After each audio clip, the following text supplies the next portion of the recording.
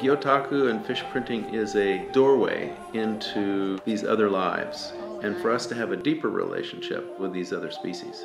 You come to know something, and to know something that's this beautiful is to love it. And when you love it, then you'll be willing to step up and become involved with it and fight for it and protect it as it is precious.